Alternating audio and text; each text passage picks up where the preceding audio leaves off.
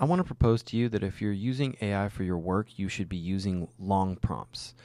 Honestly, I'm one of the only people in the space that's talking about this, which is surprising to me. And even when I look at the stuff coming out of Google and Microsoft and colleges and universities, people are considering prompts to be these short things, maximum maybe one, two, three paragraphs. And I'm going to tell you why this is kind of crazy. What you're looking at here on the screen is this little framework that I've developed uh, called the ICO framework. All right, cool. So let me get into a concept that is important for you to understand, and it's called the context window. So, a context window is basically how much information an AI model can consider when it's generating a result for you. And oftentimes, like the way that we use AI models now is mostly in terms of text and language.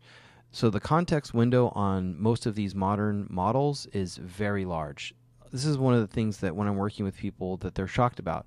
You can put 30, 50, in some cases 100, even 200 pages worth of text into a prompt when you're trying to get something back from an AI model.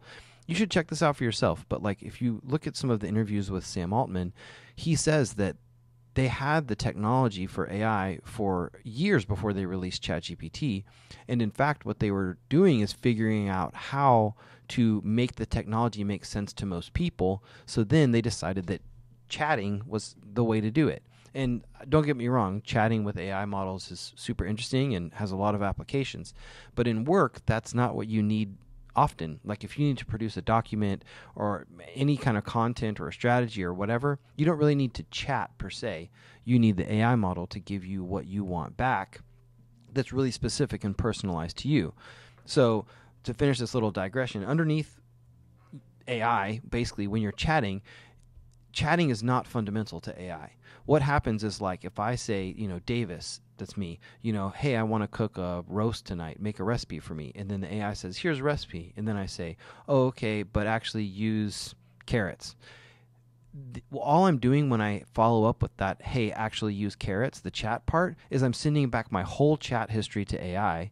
And then it's saying, okay, cool. Now, what are you going to say next, AI, given this chat history?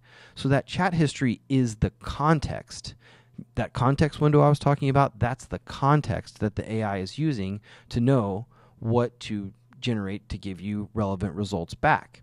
So basically, you have this huge amount of text that you could hypothetically send to an AI model to get a personalized result back. So the question is, what do you do with that spot? If if you decide that okay, cool, I'm going to do long prompts, why uh, why would I do that? Well, so like here, I'm going to show you in this in this document, which you can get for free, eazl.link slash ICO. That'll take you right here. It's free. You don't have to register or anything. And but like here in this context, for example, you can put background information. So like how might that, you know, be relevant? Well, this is me. This is my job. This is my school. This is my class. This is my student.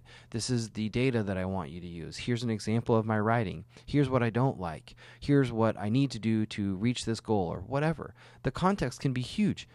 I have dropped entire Harvard Business Review case studies in as context when I'm working with AI.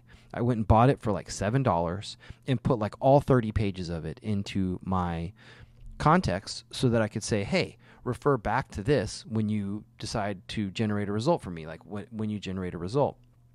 All right, cool. And then so like I want to just finish this by saying like, well, what else would how else could you do this? How else could you have AI work for you specifically with information that you put in about your situation, your work, etc.? Well, some people are like, oh, well, I need a chatbot. I'm going to go to ChatGPT and make one of these custom chatbots.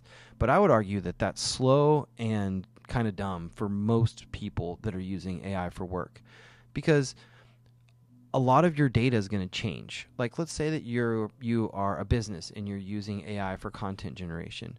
Well, when you use it for content generation in February, it's going to be a really different situation than in November because February is like Christmas has already ended and people are, you know, the holidays are over and people are in a whole different mindset about their life. Your company has changed. You have different data going on. Maybe you have different, you know, promotions or whatever. Then in November, everybody's gearing up for the holidays and they're spending money in all these different ways.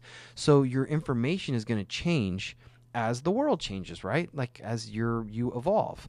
And if you were to use a chatbot as the way that you use AI with your custom data, you're going to have to update that chatbot chatbot like basically constantly, which is just not feasible. It's honestly dumb. It's going to take you way more time than you need. And I'll just finish this by saying that early studies of long prompts, which I've just seen come out now, I honestly think people are listening to me because I mean I do have a lot of students. I've taught about half a million people, and so I do have a kind of big audience, not on TikTok but in other places. But um, you know, like the the they've shown that using a general use model, so that's like GPT-4 for example, like using a general use model with a long prompt, you can get as good of results as if you used a custom trained model with shorter prompts. And some of the examples I've seen is like in the medical field.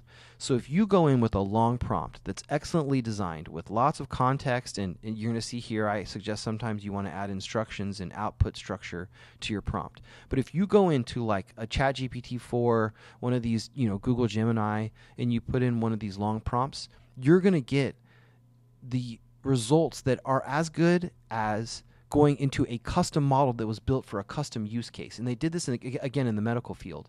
So you could go and take a long prompt, ask it a question about medicine, and get a result that just that is just as good as if you custom trained a medical model and then put in a question for the medical model. So anyway, again, you can get this for free, eazl.link slash ICO, but that's my thought on long prompts. Check it out.